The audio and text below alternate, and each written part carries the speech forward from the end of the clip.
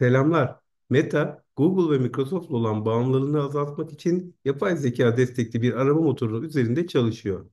Meta'nın arama motoru, Meta AI sohbet botu içinde çalışacak ve güncel olayların yapay zeka destekli arama özetlerini kullanıcılara sunacak.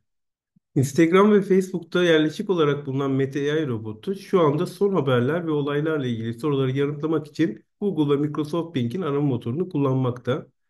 Ancak bu durum yakında değişecek gibi gözüküyor. Çünkü Meta tarafından kurulan bir ekip var.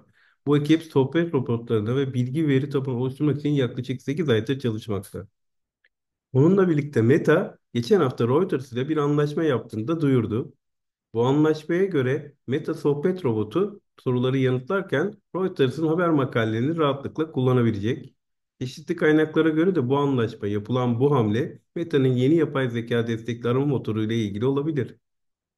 Görünüşe bakılırsa Meta, OpenAI ve yapay zeka destekli arama motoru Perplexity'nin yaşadığı sorunları yaşamak istemiyor. Çünkü her iki şirket de telif hakları nedeniyle büyük yayın kuruluşlarından gelen yasal tehditlerle karşı karşıya. Bu süreçte medya kuruluşları yayın haklarının izinsiz kullanılmasından oldukça rahatsız gibi görünüyor.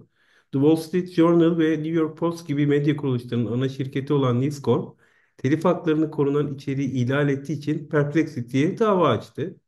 Wired ve Forbes gibi haber kuruluşları da Perplexity'yi izinsiz içerik kullanmak ve yazılı çalışmaları kaynak göstermeden kullanma konusunda suçladı.